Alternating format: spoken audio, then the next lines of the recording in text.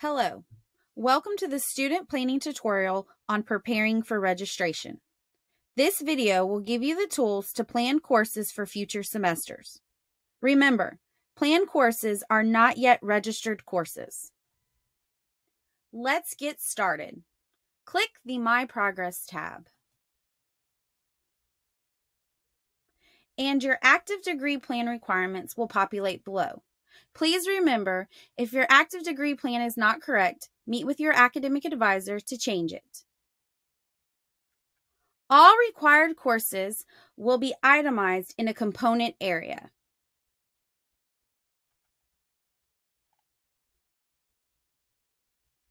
Completed courses will appear in green. Fully planned courses will appear in yellow. Courses not yet started will appear in red. Each letter component area will show your status as completed, fully planned, or not started.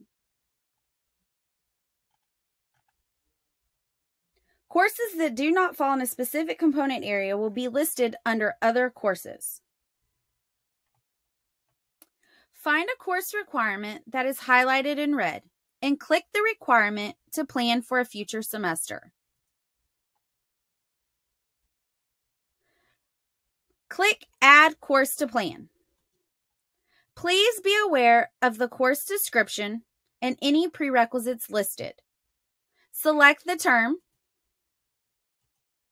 and simply add course to plan.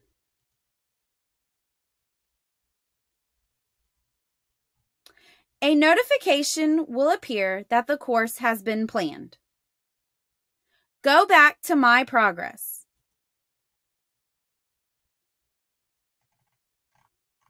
For example, under Component Area D, the student has the option to take Accounting 2301 or Accounting 1303 to fulfill the requirement.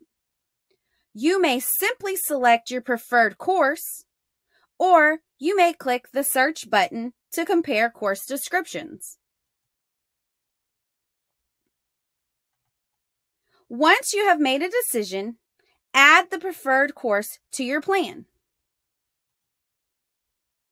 Again, please be aware of any prerequisites listed. Select the term,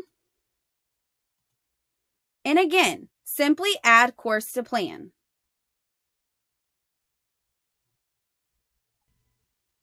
If you have any questions, please contact the appropriate department.